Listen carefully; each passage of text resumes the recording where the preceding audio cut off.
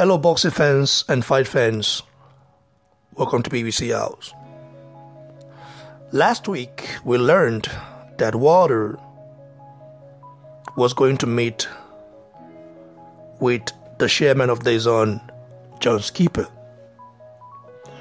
And according to recent news, they've met. Ah Haymon was there, Shelly Finkel was there, you know, Lou DiBella was there, and other managers of Deontay Wilder. You know, Deontay Wilder has lots of managers. I don't even know how he pays them. You know, for a, a fighter that does not really hand the Mayweather money, he has a lot of, you know, members in his team, which is interesting. Why AJ only has a couple of them and AJ earns even more money than Wilder, more, double, even maybe soon triple. Who knows? Um, the meeting was a success, according to Shelly Finkel, the manager of Deontay Wilder. He said they didn't totally agree in everything, but is a progress, you know, and this meeting might definitely be progressive in the next few days to come, depending on what Shelly Finkel, uh, Jay Deas, and all other members of Team Wilder decides to do. Because they're going to look at the options. They've got Showtime option, they've got Fox option, they've got ESPN option, and they've got the DAZN option, but there is nothing like the DAZN option because the DAZN option is very clear. We offer you millions upon millions to fight in our platform, plus the Joshua fight. What is Showtime option? I don't know how it's going to be. Showtime are currently running out of money, you know, Stephen Espinoza right now must be the most frustrated man in the world right now.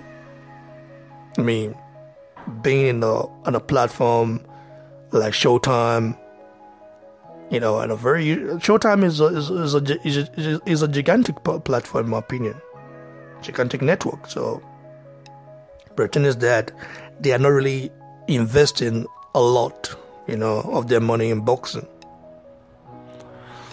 Um, ESPN, on the other hand, uh, giants, and they are really definitely investing a lot of money. They've just signed Tyson Fury, and looking forward in signing Dillian Whyte as well, which will be interesting. the Evo division is very good, and DAZN is very, very, you know, serious about making boxing great again. Now, um, the Wilder fanboys are now in support of Wilder going to desert. Remember, that wasn't the case before. You know, I watched a lot of their channels, you know, I, I, I follow some of them, not all of them. I, am subscribed to some of them. I like uh, Black Fight Fan TV, although me and him we've argued before. And right, it was back then when I had about 100 subs, and he had about 4,000 subs. I challenged him, in a way when he talked about Joshua, you know, not being Nigerian or so, you know, I challenged him for that. And, uh, but we cool, we cool. Uh, he's a nice guy, I think. Um, he's also very realistic. He's not that deluded compared to the other DBC uh, bigots, you know. But overall, I still have my, you know, opinion about ADBC and the damage they've done to boxing. They have their advantage and disadvantage as well. You know, they are some of them are very nice, some of them are educated, some of them, and you know, some of them are not nice. Uh, maybe just because of the environment they grew up in. I don't know. But to the sane boxing fans, sane, sane boxing fans like me, some of them are not nice. But anyway, let's go straight to the point. The point is Wilder meeting with um, DAZN was a success, and then the his fans are in support of it compared to before. They talked about DAZN being shit. They talked about DAZN, you know, falling behind, not being able to, you know, influence anything in the boxing, you know, industry. I always told those guys that listen, DAZN are not a company to be toyed with. They came to Germany. Yeah, you have Sky Sports. You also have German national networks, TV networks. And they out powered all of them. Sky Sports is a very powerful company, powerful network, but got outpowered by DAZN. Okay? That's something you should know. I mean, they bought all the rights, a lot of rights uh, for sports here in Germany, you know, and they've definitely taken over. So why do you think they cannot do it the same in America? DAZN are not a company, or is not a company to be joked with. The owner is a billionaire and who's, who has a very huge fortune. And he does not shy away from spending that cash. And also, these owners just not in America, they are not just in Germany as well, they are in Austria, they are in Japan, they are in Spain, Italy, soon to launch in uh, Brazil. And if you go to their YouTube channel, DAZN Brazil on YouTube, they haven't even launched yet, but they already have about 1 million plus subscribers. DAZN Brazil, go check it out right now. So these guys, you know, they know how to market stuff, you know, they know how to make their voices heard. They don't just have the money, they also have the connection. But one thing I'm happy about is that if this deal, you know, goes through and gets done, that means we will likely see the Joshua fight, the ending of this year, maybe next year.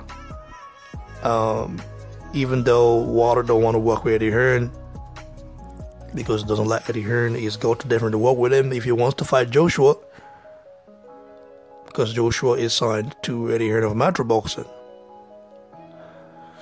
And also, DAZN will be willing to put up the money, you know, for that fight to happen.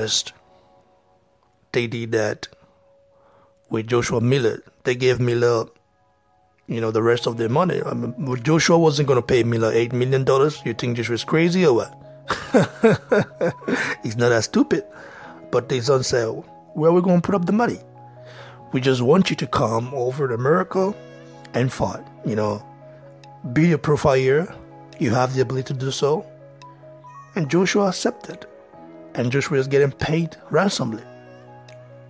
DAZN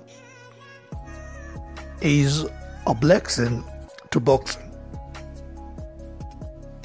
I must say, you know, I must say, you know, they are just um, trying to give the fans what they want to see, and also they are trying to make it easier for fat fans around the globe to watch every boxing match for the sum of ten dollars or ten euros or twenty dollars. I don't know how how they charge in some countries like in Spain they charge five dollar five euro a month and in Germany ten euro.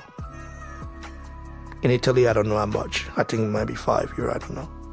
In USA 10 euros. So DAZN, they first of all look at the country they're going into and study the economical um, situation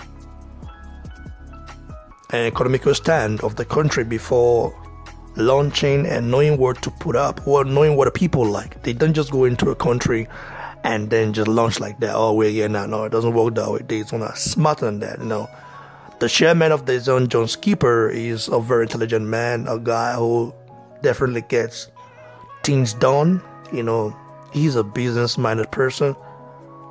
You know, and uh, he's definitely going to do a good job for the zone. At the end of Matchroom Boxing, what do you have to say about that guy? People don't like him, but he's the best promoter in the world. Very smart, you know, very charismatic, you know, and very friendly, open to every question you ask him. Eddie Hearn does not shy away from you confronting him. If you want to confront Eddie Hearn and talk to him, he doesn't shy away. He doesn't say, "Oh, get off." He stays right there and then listen to what you have to say, and then give his opinion as well.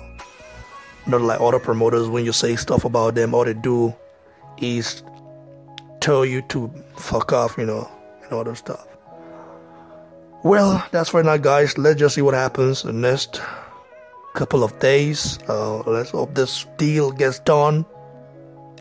Because if the deal gets done, gets done, that means we will probably see Wilder fight Joshua either the ending of this year or next year. But I think the end of this year will be there, will be better. You know, if Joshua gets past Jarrell Miller and the hype, build the hype around it as well.